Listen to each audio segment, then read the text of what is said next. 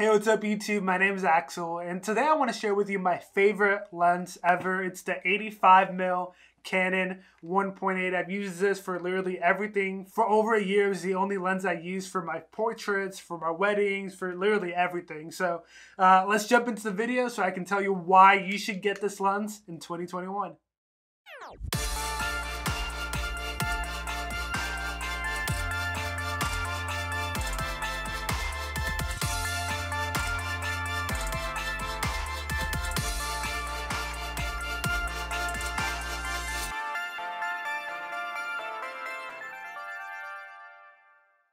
So I'm going to be honest, I can talk about the 85 mil for a very long time and I can come up with a lot of points on why you should buy it. But for this video, I'm only going to highlight two or three of those points and hopefully they're enough to convince you to buy the lens. It's changed the way I do photography, the way I do videos, the way I look at it, the way I edit. This lens has changed everything for me when it comes to photography and video.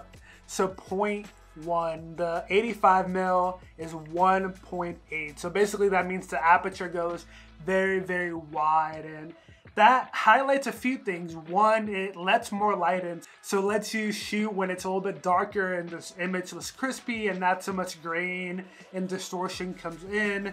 It also creates really crisp, good bokeh in your background and it helps isolate your background from your person and your talent. And it looks super professional and super clean right off rip and that's really good for the price point of $350. I've shot with multiple lenses and this is the first one I see that shoots this well for under 800. Honestly, it's I'm thinking of a lot of L series lenses that are over a thousand that kind of shoot in the quality that this lens shoots in. So the second point is that it's really light for what it does. Uh, it's around a little bit under a pound and I absolutely love it because for me, I have my big camera bag with two or three lenses at a time, my camera body, my drone, my tripod, my Joby tripod, my microphone. It can get really heavy really quick, but this lens being so light, it lets me bring it without hating myself an hour or two or three hours later. So the last thing I want to highlight about this lens is how versatile it is. Like I mentioned earlier, I've shot weddings, I've shot portrait sessions, I've shot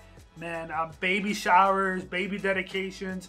I've shot in church, I've shot indoor and outdoor events, um, races. I, I, shot a 5K with this. The only thing is that sometimes you have to take a step back because it is a prime lens. But once you get used to it, it's not really that annoying. It helps when you think of how much equipment sometimes you have to bring and bringing four or five lenses when like sometimes I've shot weddings with just this one lens and the client loves it and it gets everything that I need where before I would have to bring two three lenses to cover to be able to get some wide shots and be able to walk in and get some tight shots where this one lens basically covers everything for me.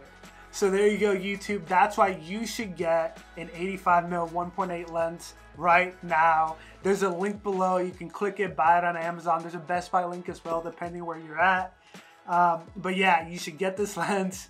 Buy it right now. Tag me in your photos at ax.vazquez. I want to see your work. I want to see what you create. And thank you for everyone for watching this video. Make sure you subscribe and like the video. Comment below if you have any ideas. Do you shoot with the 85 mil? What's your favorite lens to shoot with? Let me know in the comments below. Love you guys. See you guys later. Peace.